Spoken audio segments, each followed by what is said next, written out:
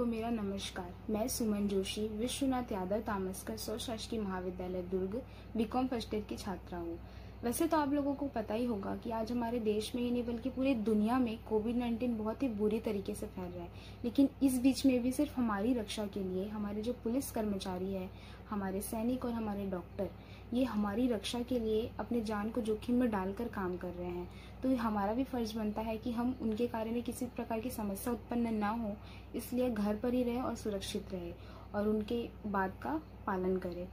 अतः मैं, हमारे ये जो तीन हीरोज़ रियल हीरोज़ हैं, मैं उनके लिए दो लाइन बोलना चाहती हूँ।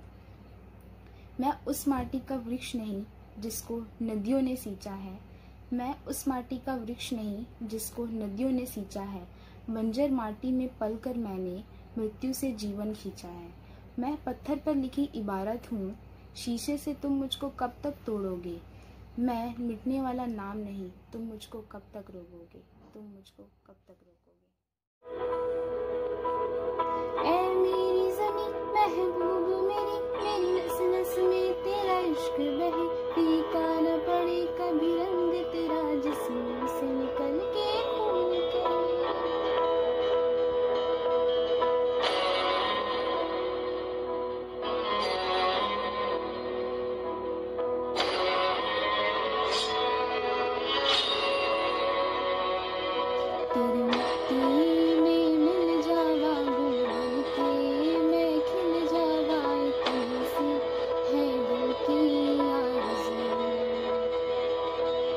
beauty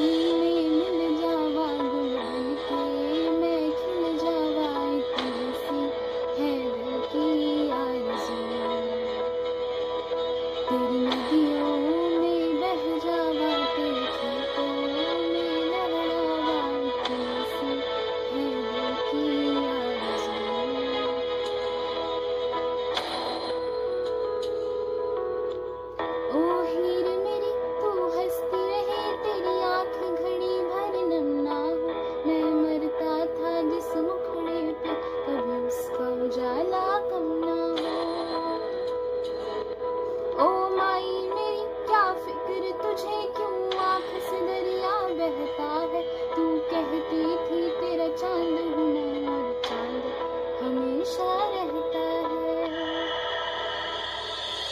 it